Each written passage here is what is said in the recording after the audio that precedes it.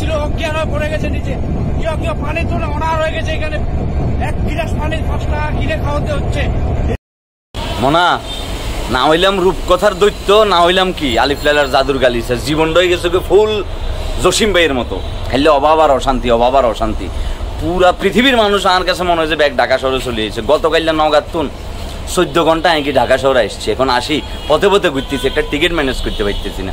আর বিটে কাউন্টারে ঢুকছি হিয়া নাকি চালাই দিয়েছে টিভি এবার টিভির ভিতরে দেখি যে মানুষ খাম্বার তারের ভিতরে উঠে গেছে কারেন্টের খাম্বার ভিতরে উঠি হিয়ানে তো লাভ দি লাভ দেখি ট্রেনের সাদের ভিতরে নামের এক গ্লাস পানির দাম নাকি পাঁচ টিয়া। আবার এগুলা মনে করো যে জিনিস এগুলো কি? সাংবাদিকরা বেশ ভালোভাবে কি, ফলাও করে কি এগুলো প্রচার করতেছে। আর খুব জানতে মন চাইছে।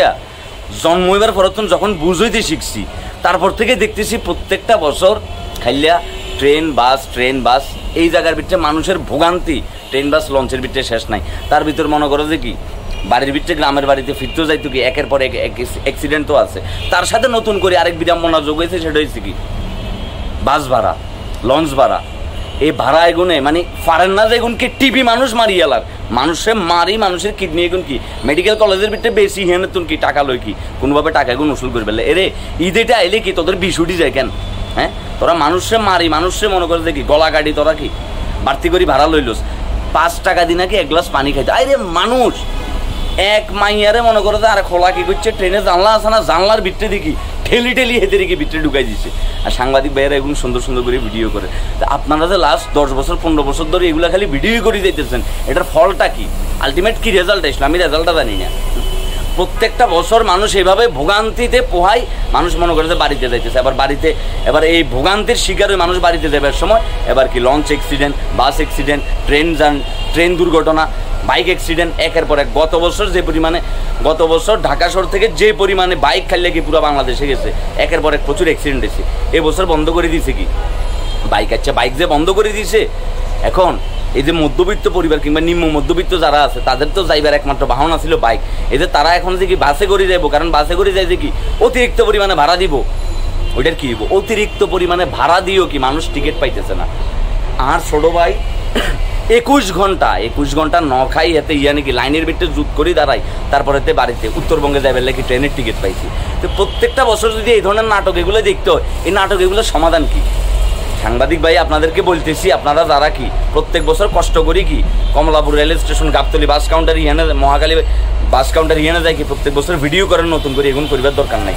এর আগের বছরের ভিডিওর ফুটেজ দেখুন দি, আপনারা চালাই দেন যে এই বছরও বাংলাদেশে Gabtoli bus station, Kamalapur rail স্টেশনের সেম চিত্র, যাত্রীদের চরম ভোগান্তি হইতেছে, তারা ঠিকঠাকভাবে বাসায় যাইতে পারতেছে না, কারণ অবস্থার কোনো পরিবর্তন নাই। এই সাধারণ মানুষের গুণের কোনো মা বাপ নাই। এভাবে কুত্তার সাপ বিলাইসা শিয়ালের সার মতো কি? এখন উডি উঠি কি এভাবে করে চলি যাইতেছে? এগুলোরে দেখবার মতো কেউ নাই। কেউ দেখতেছে না, কেউ এই জিনিসের সমাধান করতেছে না। এই জিনিস আলটিমেটলি সলিউশন কোথায়? সলিউশন কোথায়? আমি নিজেই করতেছি পথে পথে কি আমি একটা টিকিট ম্যানেজ করতে মারতেছি না। টিকিট একটা ম্যানেজ এখনও পর্যন্ত করতে পারি না ঠিক আছে একজনে জানাইছে, বলছে যে আটটার গাড়িতে কি, অত হইতে পারে। যদি হয় আজ যা কর্তায় সিটিং যাব আমি নিজে বুঝতে পারতেছি না। আর ফ্যামিলির তো বারবার খাইলে কল দেয় করতে হবে করতে হবে কিন্তু আমি যে চোদ্দ ঘন্টায় দেখি নগার তুলসি আমি ঢাকায় এসেছি। আমি যে কিসের ভিতর দিয়ে এসেছি, সেটা আমি জানি। শুধুমাত্র আশুলিয়ার মতো জায়গায় পাঁচ ঘণ্টা আটকে আসছিলাম পাঁচ ঘণ্টা এমনি আর মতো প্রত্যেকটা মানুষ কি রেল লাইনে বলেন, বাসে বলেন, লঞ্চে বলেন, একের পর এক সাফার করতেছে। আর মানুষ, মানুষের মাথা মানুষে খাইয়ালার এত বাজে অবস্থা ইয়ানে। এত কষ্ট করি, ভোগান্তি করি, তারপরেও কি মানুষ যাইতেছে পরিবারের সাথে ঈদ করে ফেললে আপনাদের বেগুনের কাছে রিকোয়েস্ট আপনারা যারা এত কষ্ট করি কি ঢাকা শহর সারে কি পরিবারের কাছে যাইতেছেন, সবাই নিরাপদে থাকবেন, সবাই সুস্থ থাকবেন। ঠিক আছে, রাস্তায় অপরিচিত মানুষের হাত থেকে দেওয়া কোনো কিছু খাইবেন না। নিজের মালামাল, নিজের হেফাজতে রাখবেন, নইলে পথে পথ হয়ে যাবেন কই। মাইক মাইক কেউ ভাড়া দিত না। ঈদের সিজনে প্রচুর মানুষ এখন মাইক ভাড়া দিবার কোনো টাইম নাই। তার ভিতরে নিজের মোবাইল ফোন নিজের জরুরি প্রয়োজনীয় জিনিসপত্র, টাকা পয়সা এগুলো কি ঠিকঠাকভাবে গুছগাছ করে রাখবেন, নইলে ফুল প্যাকেট হয়ে যাবেন কই। ঠিক আছে? আর আপনাদের কর্তৃপক্ষের দৃষ্টি আকর্ষণ করতেছে, আল্লাহর ওয়াস্তে তোরা মানুষের গলা গাড়ি ভাড়া এগুলো লচ্ছে শতানের বাচ্চারা হ্যাঁ? তোদের, তোরা যে কোন লেভেলে যাবি, তোদের ইচ্ছা মতো পিকনিক করি যদি কি, বানাইতে হইতো। আর মানুষের সামরা হয়ে গেছে মোড়া। মানুষ এগুলা, এই অসঙ্গতিগুলো দেখতে দেখতে মানুষ সহ্যের কি সীমা হারাই গেছে ঠিক আছে? এই ভোগান্তি যাতে প্রত্যেক বছর না না দেখতে আর ভালো লাগে না নিতে আমার মারিয়েন না।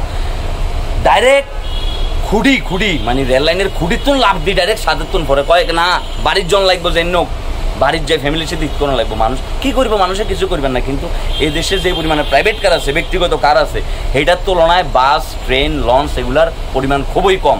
এটা শুধুমাত্র ঈদ কিংবা বড় কোনো ছুটি এলে কি তখন ভালো করে বোঝা যায়। সবাই ভালো থাকবেন, সুস্থ থাকবেন, আর এই অমানুষের বাচ্চাদেরকে মনে মনে প্রচুর পরিমাণে অভিশাপ দাও, যাতে এগুন মনে করো কি, যক্ষ হয়ে যাতে কি মরি যাইবে এগুন কোনো কথাবার্তা। তারা দেখুন মানুষের গলা গাড়ি কি। এভাবে করে কি, বাসের ভাড়া বাড়ায় দিছে, তারপরে হচ্ছে লঞ্চের ভাড়া বাড়ায় দিছে, এই ভাড়া বাড়ায় দিছে, এটা করছে, ওইটা করছে, অশান্তিতে রাখছে। এগুন যাতে যক্ষই মরি যায়, কোনো কথাবার্তা তারা।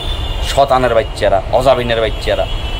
ইত্যাদি খারাপ কথা এসতেছে আর প্রত্যেকটা বছরে এই ধরনের ভোগান্তিগুলো শিকার হইতেছে। এখন তো আমি নিজেই কি ভোগান্তি? আমি তো নিজে দেখতেছি যে মানুষ কি পরিমাণে কষ্ট করতেছে।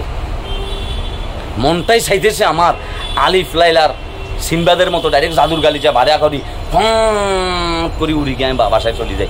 আর টিকতাম ফাইতেছি না না হইলাম দৈত্য, না হইলাম জাদুর গালিচা হয়ে গেছি কই জসিম। জীবনটা খাইলাম মনে করো যে পুরি গেছে, অভাব, অনটন, অশান্তি, অভাব, অনটন, অশান্তি। আমার রসনের মতো বাম বুক সাপ্লাই ধরে ও! টিক্কা গরম ছাড়ার কোনো উপায় নেই। সবাই নিরাপদে থাকিও, সুস্থ থাকিও, কেন? আল্লাহ হাফেজ মোনা।